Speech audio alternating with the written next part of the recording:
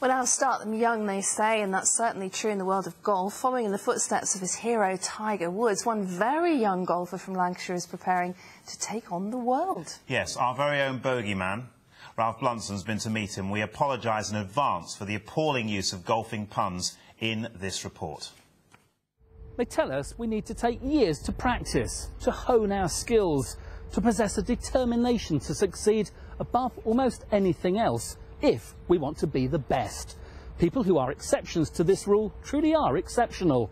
And bearing this in mind, let me introduce you to one of Britain's best golfers. Yes, he is young, just five years old in fact, but he's far from green and looks set to have a fair way to go in his golfing career. Benjamin Poli from Chorley is set to become the youngest UK competitor in the Junior World Golf Championships in San Diego next month. You've got a hero, haven't you? Who's that? Tiger Woods. What's so special about Tiger Woods? Um, he's the number one in the world. Do you want to be like Tiger Woods when you grow up? Nope, better than him. OK, Benjy.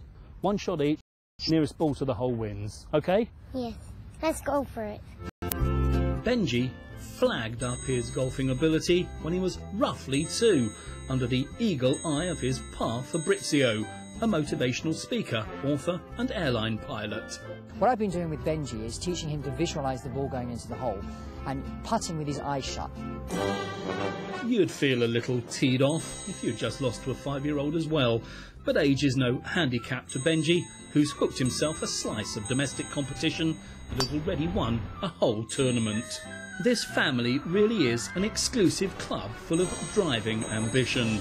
Three-year-old Elrond is already a would-be golfer, and 18-month-old Nike already has his iron the ball. Ralph Blunson, Granada reports at the 19th hole.